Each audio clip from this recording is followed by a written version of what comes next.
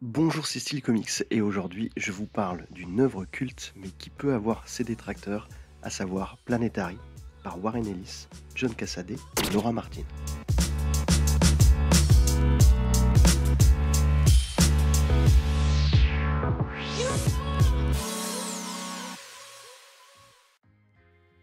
Alors Planetary, c'est une série qui est sortie en 1998 à l'époque où euh, Warren Ellis euh, travaillait chez Wildstorm, donc Wildstorm, le label créé par Jim Lee. Et euh, à l'époque, il avait déjà repris Stormwatch. je crois qu'il avait lancé déjà The Authority.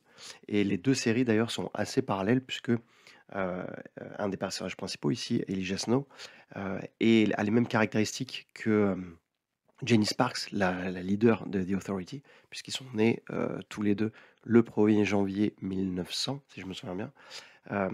c'est les fameux Century Babies, en fait, qui et ben, en fait, ont des pouvoirs particuliers, ont, traversé un petit peu les époques, et c'est quelque chose qui va infuser dans Planetary, justement.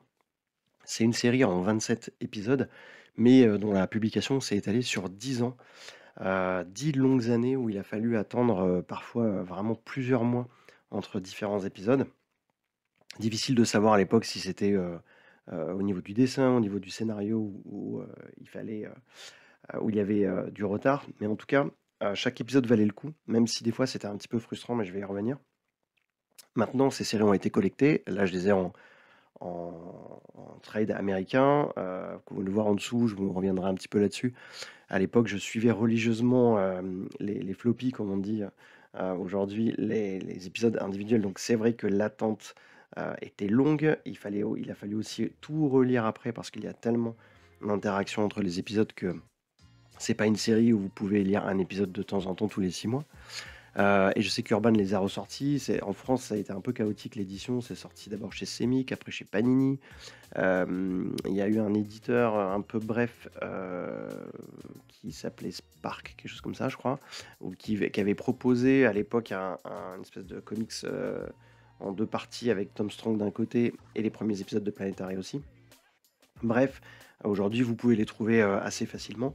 Et c'est une série, je trouve, qu'on retrouve pas toujours dans les tops des comics, alors que franchement, euh, scénaristiquement et graphiquement, c'est euh, vraiment une des meilleures séries pour moi euh, des, 20 dernières années, même un peu plus de 20 dernières années. et c'est surtout qu'à l'époque où Wildstorm avait quand même l'image de comics très bourrin, très SF, un peu bas de plafond, ce qu'a amené Warren Ellis avec Authority et après Planetary, justement, c'est autre chose. C'est plus s'appuyer sur le côté science-fiction de cet univers, euh, garder une tonalité, effectivement, avec une certaine violence, avec une certaine maturité dans les thèmes, mais en même temps, euh, ne pas en faire juste une démonstration graphique permanente euh, avec des affrontements, avec des personnages cybernétiques à tout va. Donc, je vais revenir un petit peu aussi sur le, sur le scénario, mais euh, et pendant que je vous présente un petit peu les covers, parce qu'avant de passer sur les, planches, euh, ce qui est intéressant sur Planetary, c'est que euh, c'est une série un peu patchwork. Elle a une structure narrative extrêmement intéressante. ça, c'est le premier épisode, donc avec les trois personnages principaux Elijah Snow, Jackita Wagner et The Drummer, en fait, le batteur, on va dire. Pour le pitch, pour ceux qui ne connaissent pas, on les présente ici comme les archéologues de l'impossible.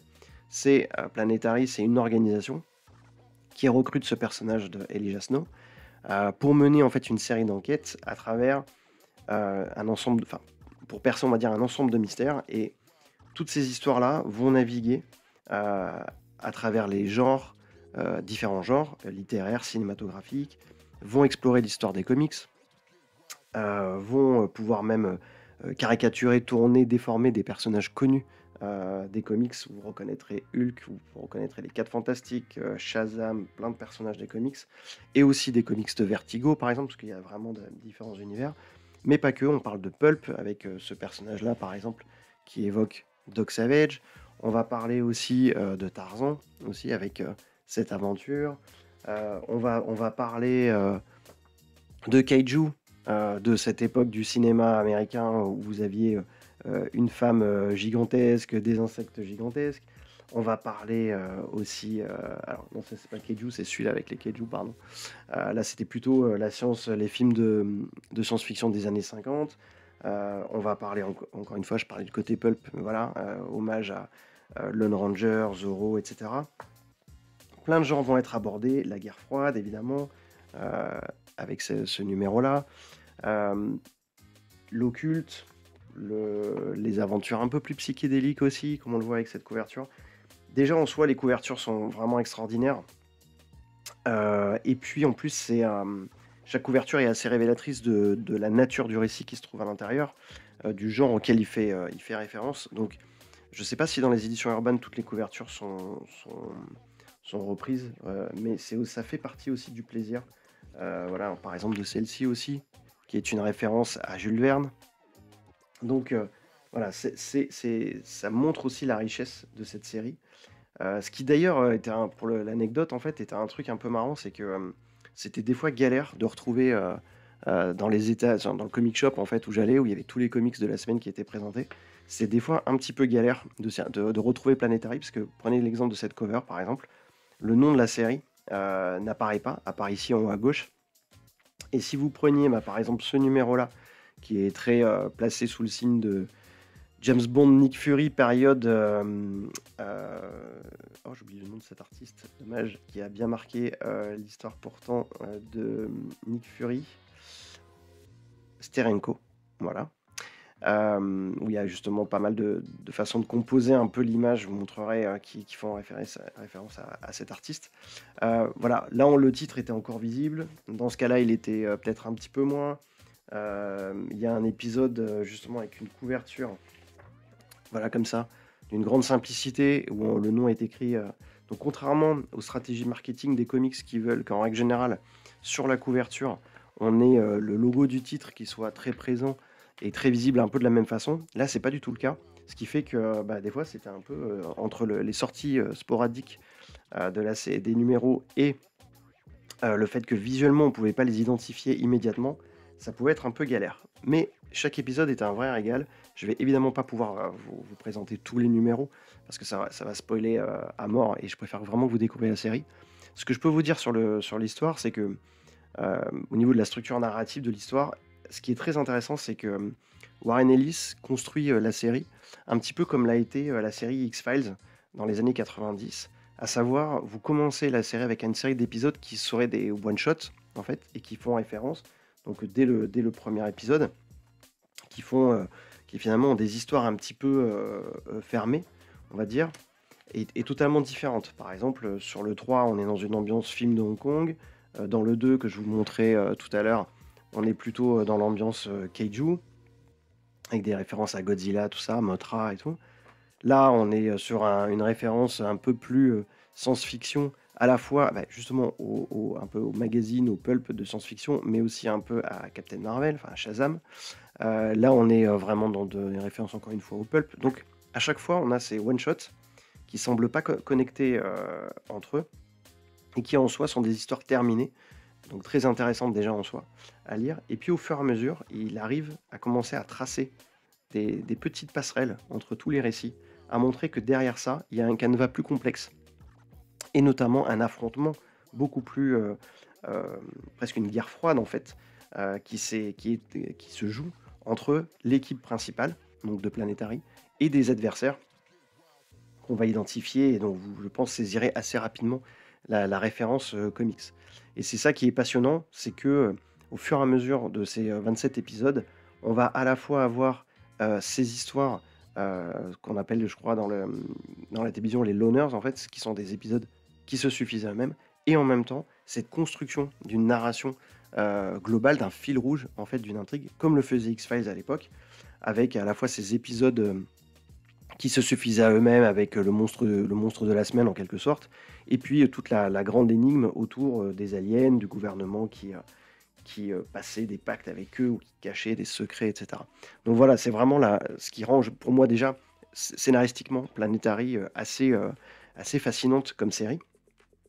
Et puis, voilà, il y a la tonalité de Warren Ellis, après on aime ou on n'aime pas, mais c'est vrai que même si on retrouve un peu des archétypes de ces personnages j'allais dire un peu, un peu désespéré, un peu cynique à des moments.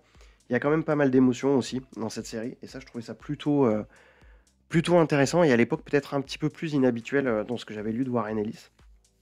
Notamment la relation entre Jaquita et, Elijah Snow est vraiment intéressante sur le long terme, au fur et à mesure la façon dont on voit comment elle évolue. Donc ça, c'est plutôt, plutôt bien et puis, l'autre aspect aussi, c'est que, le fait qu'il se confronte à des genres, très, très différents, fait qu'il va vraiment, les décrypter, mais arriver en même temps à non pas en faire une espèce de restitution, j'allais dire un peu servile ou caricaturale, mais plutôt une espèce de, réadaptation pour le rendre cohérent dans son univers. Vous voyez cette, couverture? Moi qui me fait penser à une affiche de à l'affiche de, Armageddon avec Bruce Willis, même la tête ici. Donc je sais pas si c'est exactement ça la référence, mais voilà. Mais toujours est-il que, voilà, en termes d'histoire, en termes de narration, c'est extrêmement riche.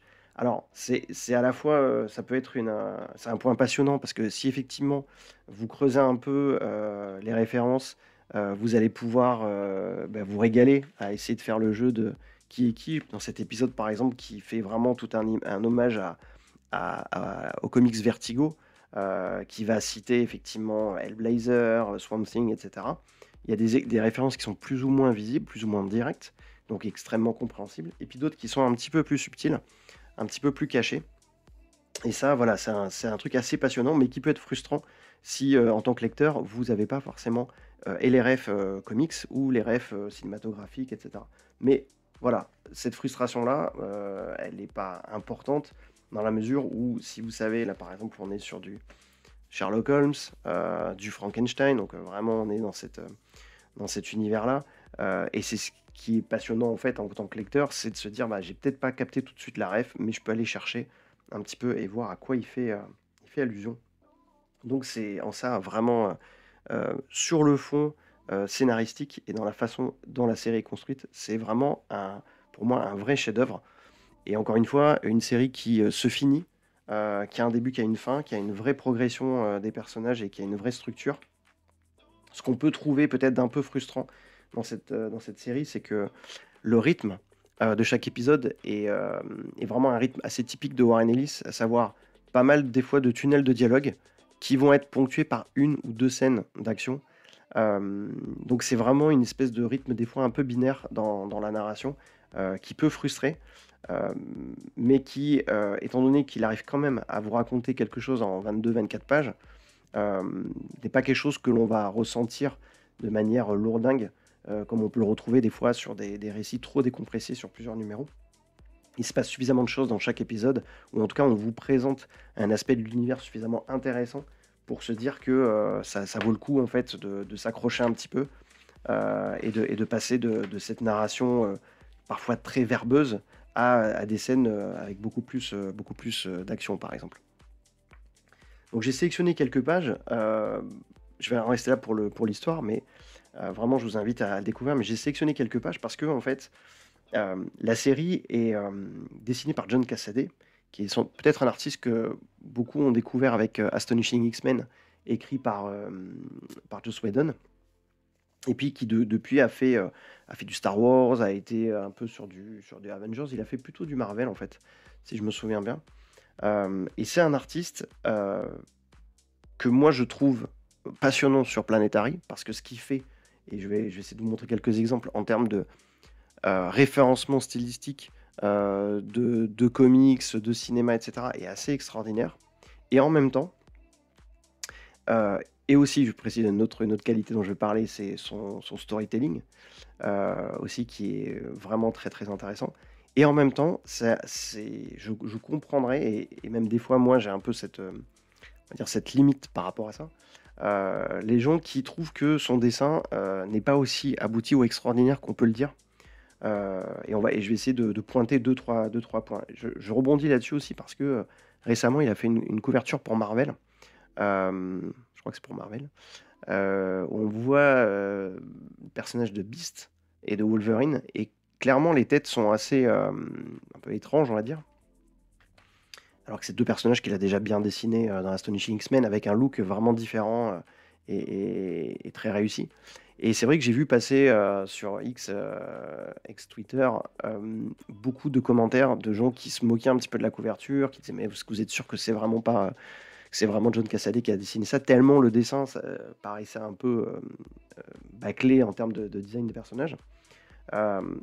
Et, en fait, outre le fait que bah, ça peut arriver qu'un artiste soit pas forcément n'ait pas forcément le temps de faire la cover la plus qualitative possible, donc voilà, c'est pas c'est pas pour autant qu'on remet entièrement le talent du gars. Et là, vous allez voir, il y a des choses vraiment extraordinaires, donc c'est pas le pas le problème. Mais il y a une forme de parfois, euh, je vais pas parler d'inconsistance, mais en tout cas d'irrégularité qu'on peut trouver dans les planches de, de. Et notamment, par exemple, j'ai eu un peu le même problème sur ces épisodes de Star Wars où en fait il y, a des, trucs brillants dans le découpage et d'autres choses qui, qui des fois donnent un peu l'impression d'être moins bien réussi, ou en tout cas que ce que l'on voit euh, dans le reste euh, du comics semble tellement euh, à, un niveau élevé que des fois, retomber sur certaines cases ou certains dessins qui semblent un peu plus bâclés, eh ben, ça nous saute beaucoup plus à l'œil. Donc j'ai sélectionné quelques pages et, pour essayer de vous parler à la fois de ce que je trouve être les points forts de Cassaday et puis les choses où on, pourrait en tant que lecteur effectivement se dire ah, est-ce que c'est -ce c'est si bien dessiné que ça, etc.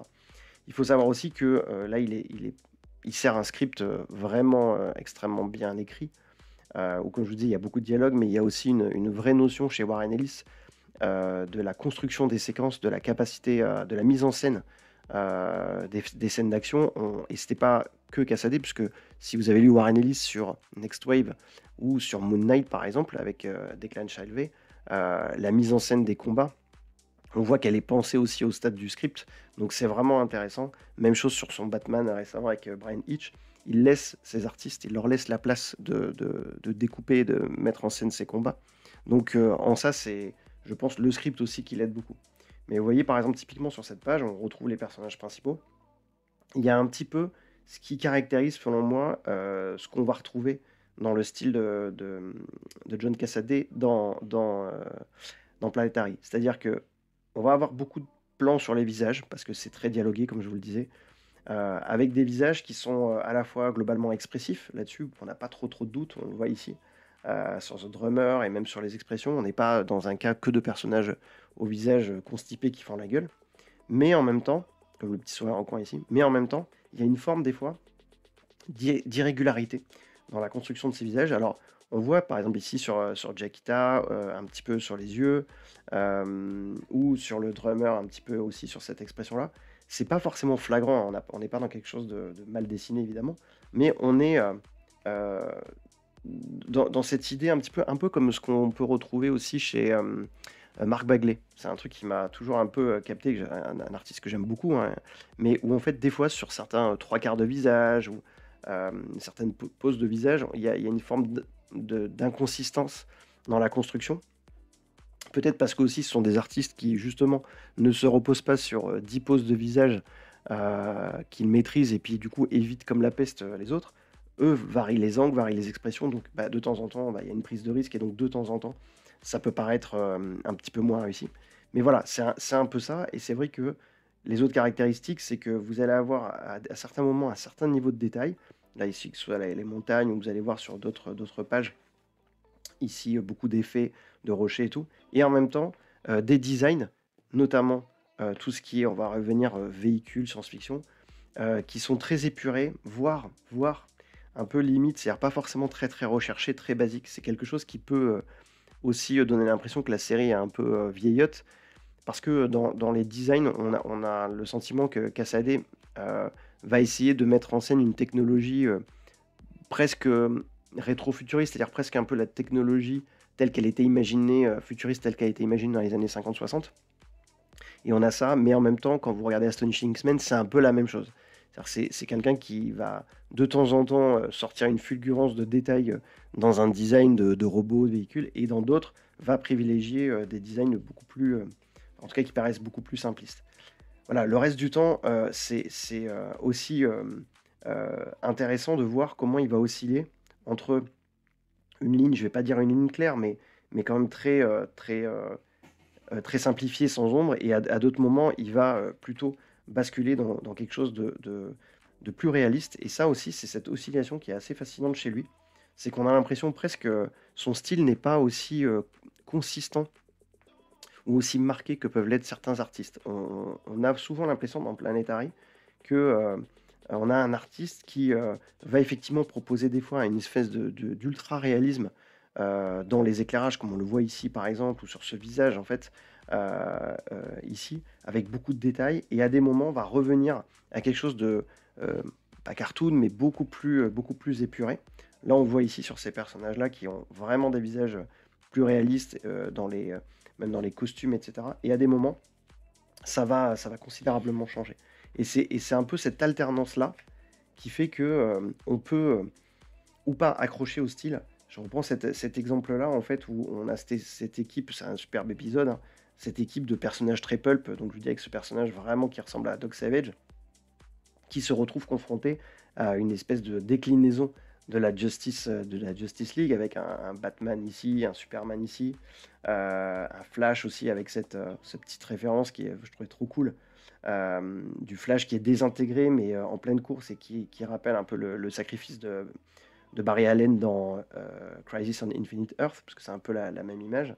Voilà, une Wonder Woman, etc.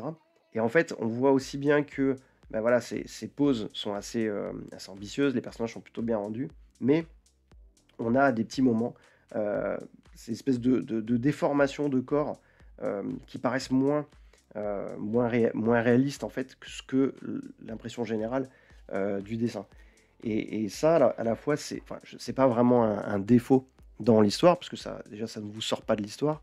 Euh, et c'est des comics qui restent visuellement extrêmement intéressants et très riches. Mais c'est une espèce de, voilà, de petite inconsistance de temps en temps, comme ici par exemple avec ce visage et, et ses yeux ici. Euh, qui peut vous, de temps en temps, vous, pas vous sortir de l'histoire, mais vous faire vous interroger sur la, qualité euh, et la constance euh, du dessinateur. Et en même temps, vous avez ça à côté, c'est cette espèce de, Godzilla, cadavre de Godzilla, qui, est vraiment hyper bien rendu, extrêmement bien texturé ici au niveau des écailles, dont la notion de gigantisme est, aussi très bien faite. Et voilà, et c'est un petit peu ça au niveau du dessin qu'on retrouve chez John Cassaday, cette oscillation entre euh, un, espèce de réalisme très bien rendu, un côté des fois un peu caricatural, euh, notamment dans, les visages, euh, et, à côté de ça, des fois des choses qui paraissent un petit peu plus bâclées. Par contre, il y a un truc qui est assez fascinant, et moi qui m'avais vraiment, vraiment totalement emballé sur Planetary à l'époque, c'est le découpage le, découpage n'est pas, systématiquement révolutionnaire, mais il y a des séquences dans Planetary qui, pour moi, euh, sont euh, absolument inoubliables. Et cet épisode-là, j'ai essayé de retrouver la cover euh, là-dedans. Voilà, c'était ce numéro-là. Numéro 3 de Planetary. Hommage Cinéma Hong Kong. Alors, je vous dis ça, on est 14, je me souviens plus de la date de, de l'épisode, mais ça doit être 98-99, un truc comme ça. Euh, donc voilà, on est en pleine période 99, bah, juin 99. Pour moi, grande période, bah, Matrix euh, allait sortir, ou était déjà sorti, mais en gros c'était 99 si je me souviens bien. Euh, j'étais bien ancré dans le cinéma de Hong Kong, dans les films de John Woo, etc., qui déjà commençaient bien à infuser aux États-Unis aussi. Et là, cet épisode référence, d'ailleurs même sur la couverture, le personnage qui plonge avec les deux guns, comme beaucoup de personnages de John Woo, dans The Killer ou Hard etc. Donc les références étaient assez évidentes et euh, cette séquence-là, elle m'avait vraiment, vraiment euh, marqué euh, par le, fait que déjà d'une part, il y a quelque chose qui avait amené aussi Warren Ellis, mais pas que, mais qui commençait un petit peu plus aussi à, à se retrouver dans les comics des années 90, c'est cette volonté de vouloir utiliser un peu le scope, qui est une des catégories, une caractéristique qu'on avait beaucoup mise en avant dans The Authority, en fait, avec cette idée que le format scope allait permettre euh, d'avoir finalement une approche très cinématographique du découpage. Et là, c'est clairement ce qu'on a, puisqu'on a ce, champ contre champ entre les deux personnages, cette espèce de flic fantôme qui va euh, passer à travers la voiture et tirer. Et, ce plan-là magnifique où en fait on, est en ralenti, euh, comme si la caméra était fixée sur place et en fait on, voyait juste la voiture qui passe et ce fantôme en, slow motion qui va abattre tous les occupants de la voiture. Cette séquence m'avait vraiment marqué et elle continue après avec ce plan aussi du double, des, deux guns qui tirent et, qui épousent parfaitement le, panel en scope. Et puis voilà, il y a une mise en scène et il y a une ambiance. Je vais revenir après parce que sur les couleurs de Laura Martin, parce qu'elles sont extraordinaires et je pense que c'est c'est vraiment 50% du succès artistique et graphique de, la série. si vous regardez les planches sans, sans les couleurs, vous n'avez pas du tout le, même rendu et la même impression et la même appréciation de la série. Mais le storytelling est assez exemplaire. Cette balle qui part ici et que, qui va euh, ensuite suivre la, voiture, revenir et ce gros plan et tout.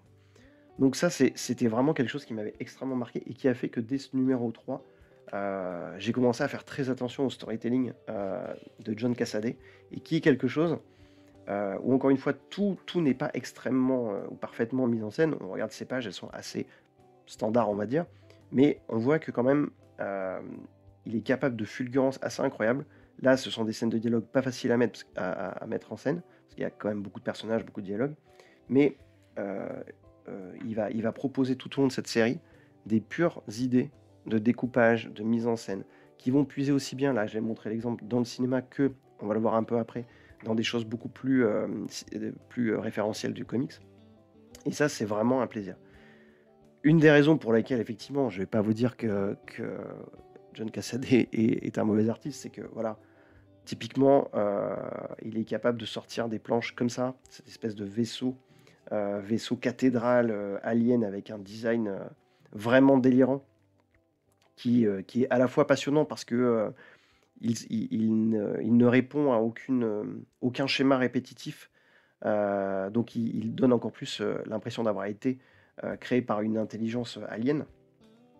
Et en même temps, il y, a cet effet euh, de gigantisme, euh, d'architecture euh, très riche et, qui reste à la fois, qui fait à la fois futuriste et en même temps qui peut évoquer quelque chose de médiéval.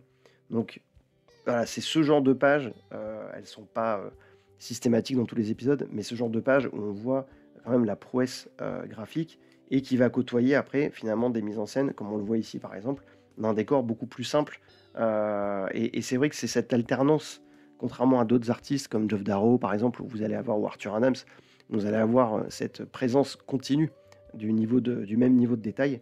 Là, c'est pas le cas chez John Cassaday. Mais encore une fois, c'est pas extrêmement gênant parce que quand on regarde par exemple juste cette page, le travail qui est fait ici sur ce personnage, sur le visage, sur l'expression, etc., suffit largement. Le regard est guidé là où il faut.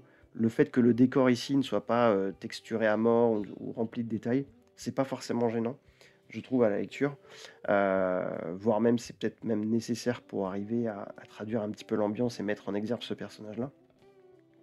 Donc voilà, mais je, comprendrai encore une fois que, euh, que des lecteurs aujourd'hui soient un peu, restent un petit peu dehors, parce que c'est vrai que, euh, par exemple, Cassaday fait pas partie de ces artistes qu'on va citer pour le fait qu'il dessine des super des super héros extrêmement bien musclés comme Jim Lee ou des femmes magnifiques comme Adam Hughes ou J. Scott Campbell, etc. Il n'a pas vraiment de caractéristiques graphiques qui fait qu'il va être cité, cité, systématiquement. Donc il a un style qui n'est ni l'apogée du style super-héroïque ou du comics classique, qui n'est pas non plus... voilà, qui va pas avoir non plus une, une patte immédiatement identifiable, en fait, on est plus dans un artiste qu'on aurait vu sur des titres Vertigo que dans des choses un peu science-fictionnelles ou super-héroïques. Et c'est là où en fait on voit quand même que euh, finalement euh, cette série aurait pas pu être dessinée par un, mec comme Jim Lee. Enfin, c'est pas qu'il n'aurait pas pu, mais je pense qu'il n'aurait pas eu le même impact parce que justement son style était tellement prononcé et associé au style de super-héros par exemple, euh, qu'en fait je, il n'aurait pas forcément eu cette versatilité pour passer d'un genre à un autre, là où en fait, selon moi, le, style, et on le voit ici, avec cette image qui se veut être euh, comme une illustration de pulp, en fait, de magazine, de, magazine pulp ou de comics pulp, avec euh, le personnage, encore une fois, un peu à la, à Doc Savage, qui s'appelle Doc Brass euh, ici, et qui affronte des espèces d'aliens, qui, qui sont des petites références, enfin, qui font penser un peu à des créatures souterraines. Voilà, cette versatilité, cette capacité à s'adapter et à faire des références graphiques à des genres un peu différents, euh, je pense en fait fait partie des forces de, John Cassaday. Et effectivement, comme je vous le disais, on le voit ici, euh, Ça veut dire aussi que de temps en temps, bah, voilà, on a des designs ou des décors, vous voyez? Et si tout est immaculé, il y a aucune texture, on voit quand même que le travail de Laura Martin, hein, j'en parlais, fait énormément de choses parce que, heu, ici le l'effet de profondeur, il est donné par le dégradé. Même chose pour l'effet de volume ici. Heu, elle a un travail sur les éclairages dans cette série qui est démentiel, vraiment démentiel. Je sais pas si c'est, hem, une coloriste que vous suivez ou pas, mais, heu, moi je crois que je l'ai découverte vraiment à l'époque, Wildstorm, parce qu'elle elle faisait partie de l'équipe Wildstorm et c'est, je pense l'une des premières coloristes, si ce n'est la première, que j'ai commencé à remarquer dans la profession. C'est-à-dire à l'époque, les couleurs des années 90, c'était, heu, je découvre un peu Photoshop et je mets, heu, pas mal de couleurs dans tous les sens. Donc, heu, on a tous tripé sur ce changement en fait de paradigme, entre les couleurs, des comics des années 80, heu, plus en aplat, plus statique et puis, toutes les expérimentations avec les effets spéciaux et cetera, les reflets et tout ça, qu'on a connu dans les années 90 avec, plus ou moins de bonheur. Mais Laura Martin, c'est la première où, où je me suis dit: «Là, il y a quelqu'un qui, sait maîtriser ses outils, numériques, heu, mais ne fait pas du flashy, en fait». Elle pense son ambiance, elle enrichit vraiment le dessin, elle, elle complimente, heu, à mort le travail du dessinateur et là, clairement, avec John Cassaday, je crois qu'il a continué à travailler après systématiquement avec elle, mais je comprends pourquoi. Parce que quand on voit effectivement qu'il y a quand même, peu de texture, un peu de vide, peu d'éclairage aussi, dans son dessin, hein. On n'est pas avec des aplats de noir ou à part ici, heu, mais voilà, le reste, ça reste une espèce de lumi luminosité un peu, heu, indéfinie. Heu, là, le travail d'ambiance apporté par Laura Martin est, moi, je trouve extraordinaire et c'est vraiment indissociable de Planetary. C'est-à-dire qu'il y aurait, je pense, une artiste édition en noir et blanc, de Planetary, je la prendrais pas, même s'il y a des belles choses, hein, en termes de dessin. Mais voilà, c'est une série d'ambiance, c'est une série qui a besoin de refléter visuellement ses références, qu'elles soient cinématographiques ou autres et si vous avez pas le travail de Laura Martin là-dessus, pour moi, vous le retrouvez pas. En fait, même s'il y a des des références dans les designs des personnages et cetera, on on le retrouve pas. Donc elle fait un travail extraordinaire et je vous invite vraiment à suivre son les comics, en tout cas, aller jeter un œil à à son travail de colorisation parce que, heu, c'est vraiment époustouflant, je trouve, ce qu'elle, heu, ce qu'elle fait et pour moi, c'est vraiment une des alors après, je je suis pas tous les coloristes aujourd'hui, il y en a quand même beaucoup qui sont très, très bons, hein. Hem, heu, un de mes préférés, c'est Jean-François Beaulieu. Je crois que c'est Jean-François, ouais. Jean-François Beaulieu qui colorise, heu, Scotty Young notamment, mais pas que et voilà, mais voilà, elle, je trouve que, ça fait, longtemps qu'elle est dans le business et elle m'a toujours impressionné par son travail. Je crois que c'est elle qui colorise d'ailleurs Astonishing X-Men aussi, si je me souviens bien, donc allez y jeter un œil, ça vaut vraiment le coup. Heu, donc voilà et là, encore une fois, une séquence où on peut voir qu'effectivement, heu, que ce soit un petit peu dans la pose, heu, ici, ça peut paraître un petit peu étrange entre la taille de la tête, heu, l'expression et tout et à côté de ça, on est on est voilà, post post-Matrix, hein, donc on commençait à faire des gunfights, en montant sur les murs. Avec ce cet autre personnage-là, parce que c'est une séquence flashback. Donc voilà, c'est un peu tout ça Planetary. Ce mix de plein de choses. Ici, on a une référence, au Green Lantern Corps, par exemple, hem, assez in assez intéressante d'ailleurs, parce qu'encore une fois, ça fait partie de la réinvention, puisque très souvent dans la série, vous allez avoir, heu, un concept, ici en l'occurrence, heu, la lanterne, qui est récupéré réinventé sous un angle vraiment, science-fictionnel, et c'est aussi ça qui est vraiment intéressant, c'est que, Warren Ellis va reprendre des concepts, heu, pris au 1er degré, on va dire, dans le comics, comme, heu, les Green Lantern ou Thor et cetera. Et il va essayer de de d'en proposer une interprétation de science-fiction, en fait, pure.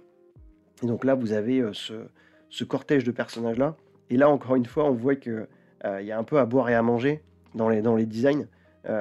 C'est très grotesque, on va dire, dans le dans le look des personnages, entre celui-ci qui a un torse énorme et puis qui a un petit bras, heu, celui-là qui a une tête déformée. On n'est pas dans un j'allais dire dans les plus beaux aliens, heu, ou dans les plus beaux designs, il y a même un côté un peu plat, en fait, dans le truc, mais il y a une vraie richesse. C'est-à-dire que quand on les regarde individuellement, on voit qu'il y a eu, heu, une réflexion ou en tout cas une volonté de d'en faire à chaque fois et d'en proposer quelque chose et ce qui est marrant, c'est que là où dans le Green Lantern Corps, on a un peu parfois l'impression que les designs sont quand même assez, heu, polissés et tout. Là, on a vraiment quelque chose, de totalement bordélique et et des aliens complètement déformés, voire presque monstrueux.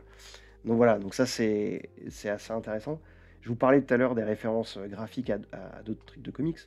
Là, clairement, donc euh, c'est euh, c'est Jim Steranko, si je me souviens bien.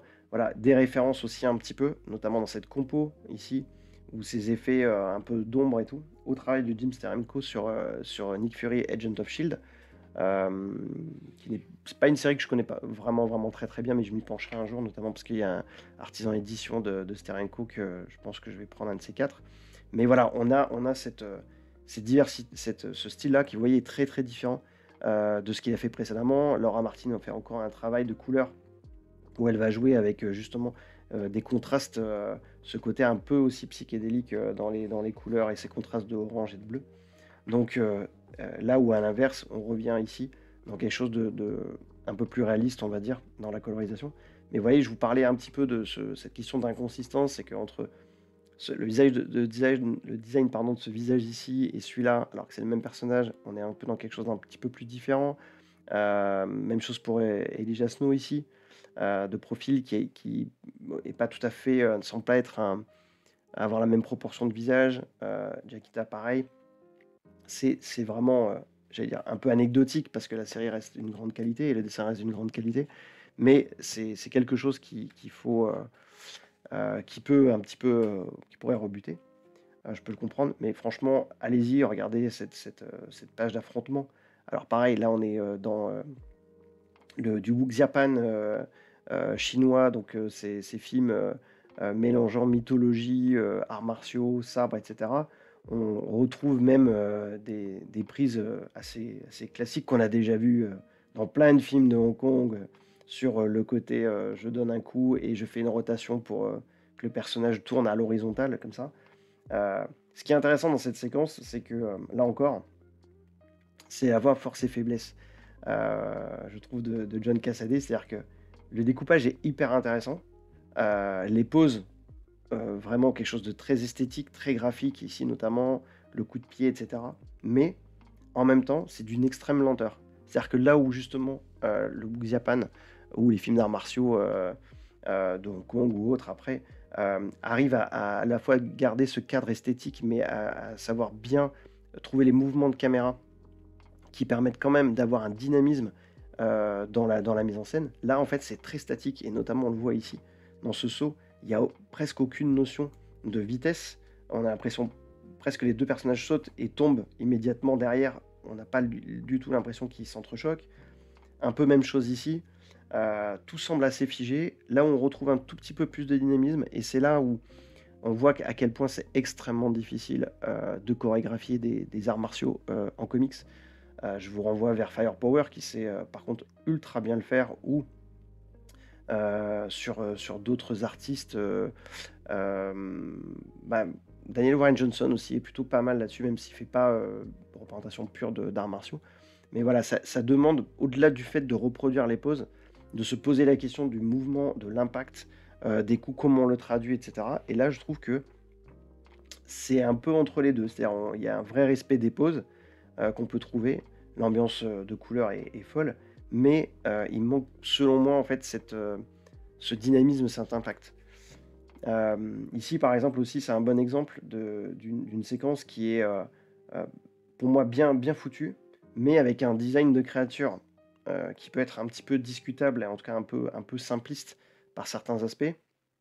Et puis un Elijah aussi qui a encore une tête euh, un petit peu différente en fait. Et je pense que le, la colorisation, encore une fois, euh, contribue beaucoup à l'harmonisation visuelle de la, série, à l'ambiance, et qui fait que finalement, à la première lecture, on va pas forcément être intrigué par, ces petites on va inconsistances graphiques parce que la couleur unifie un peu tout ça, en fait. Mais voilà, euh, encore une, autre séquence. Donc je trouve la, mise en scène avec de l'écran un peu, du découpage un peu scope est, parfaitement bien maîtrisé. Notamment aussi les, cadrages, ça c'est un autre truc aussi, c'est qu'il suffit pas juste de mettre son, panel, enfin son cadre, hein, sa case en, rectangle, il faut aussi trouver le bon axe en fait. Et là on le voit avec cet axe ici, euh, l'axe du personnage qui fait penser à The Shadow, et cet enchaînement aussi qui est, plutôt bien foutu, parce que composer euh, sur, des, sur des cases aussi fines, euh, c'est assez compliqué quand même, parce que vous allez avoir forcément des, zones où il faut, vous allez couper un peu les personnages, pas forcément de manière très flatteuse ou très intéressante. Donc c'est quand même assez complexe. Et là, je trouve que Cassadé s'en sort vraiment bien. Il y a une vraie ambiance aussi, mais encore une fois, pour le coup, là, un, travail un peu plus complémentaire entre le travail sur les ombres, ici qu'on peut voir, et le travail de colorisation. Et puis voilà, bon, je sais, je vais, je vais pas terminer sur cette page, mais je vais quand même montrer autre chose, parce que c'est vrai que c'est pas non plus. je l'avais mis en exemple de choses où je trouve que voilà, le, le, travail de Cassadé est, en tout cas, me, plaît un peu moins. On est sur du, design de décor, encore une fois, d'une grande simplicité, des visages à la limite de la caricature, euh, dont le volume, encore une fois, est beaucoup donné par la couleur. Euh, et puis, finalement, des, cadrages, euh, là, d'une grande banalité. même avec ce personnage-là un peu, un peu coupé, alors qu'il est en train de parler et tout. Voilà. Ça, c'est le genre de petites choses qu'on va retrouver un petit peu dans la série et qui peut effectivement, j'essaie pas trouver de page spoiler, c'est un peu compliqué parce que c'est dans les, derniers numéros. Mais voilà, mais qui peut un peu, euh, de temps en temps, euh, donner, euh, voilà, donner l'impression que la série n'est pas, n'est pas super bien dessinée. Donc, je, dites-moi un peu dans les commentaires justement quelle a été votre. Ça m'intéresse de savoir un peu quelle a été votre première impression si vous avez lu Planetary. Est-ce que visuellement vous vous êtes dit c'est époustouflant, euh, le, découpage est fou, là vous voyez quand même, euh, encore une fois, mon travail de couleur, hein, mais euh, un découpage très intéressant. Est-ce que vous avez été subjugué par ça?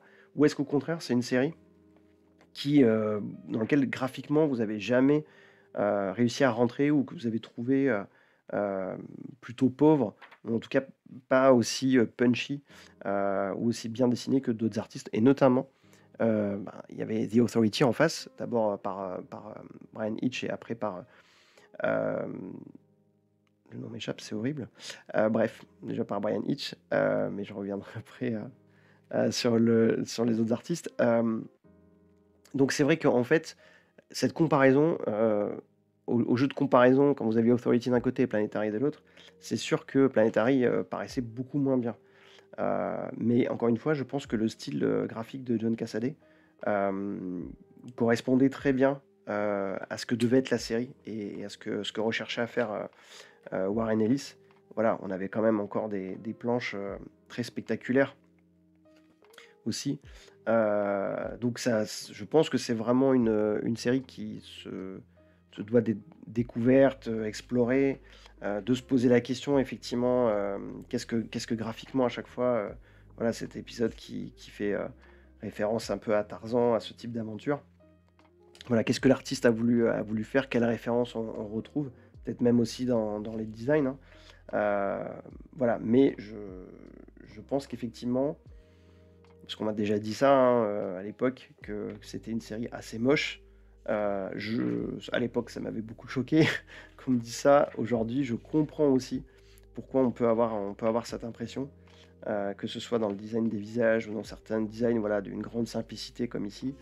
Euh. Mais c'est une série qui doit, bah, un petit peu comme les, personnages, hein, qui, qui, force un petit peu, qui essaie de découvrir un peu les, clés et les mystères de cet univers. Bah, je pense que c'est une série qui doit s'apprivoiser aussi graphiquement comme ça. je vous montre encore euh, ce, personnage-là qui est une espèce de. Je me une espèce de Hulk euh, totalement déformé par des espèces de tumeurs, enfin un truc assez horrible. Et là, pareil, un travail de texture qui est extraordinaire.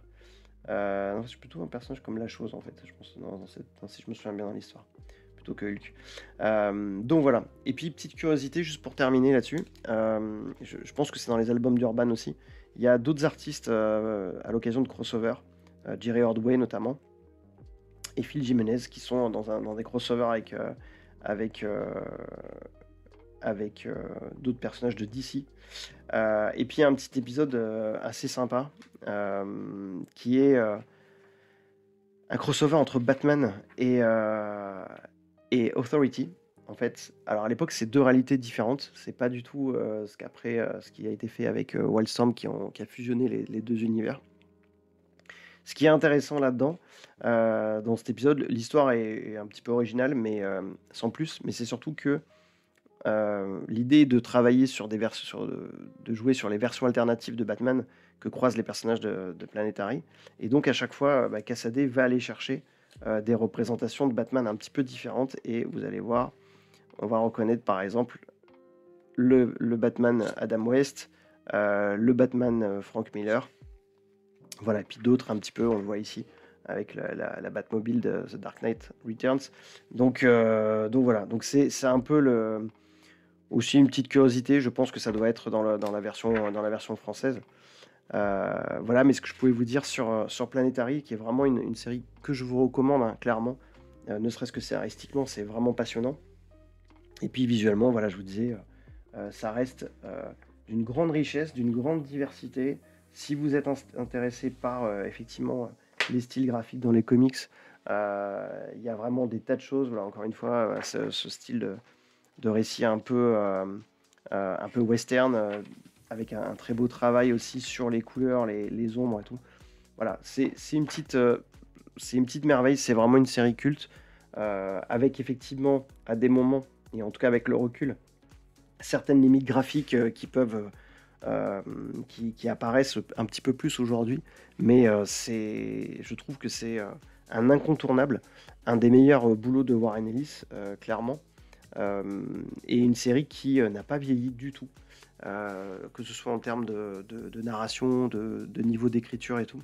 On est quand même sur une série qui a plus de, plus de 20 ans et qui, pour moi, euh, là où d'autres types de Wildstorm euh, ont pris une sacrée claque ou peuvent paraître très ringards, celle-ci, elle était extrêmement en avance sur son temps.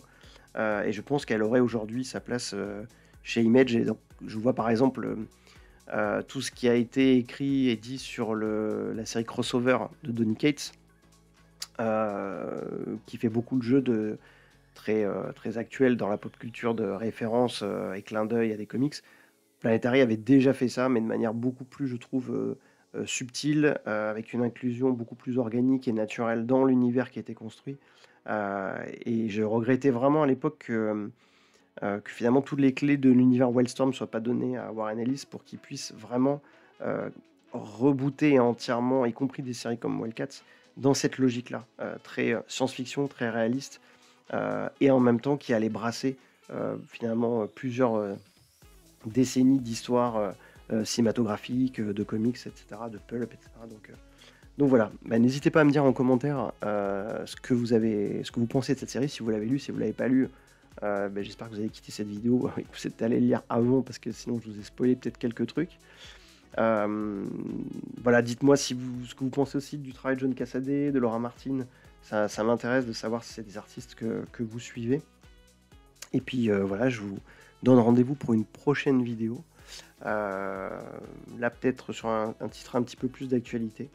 Euh, sorti récemment, si j'ai le temps de finir de le lire.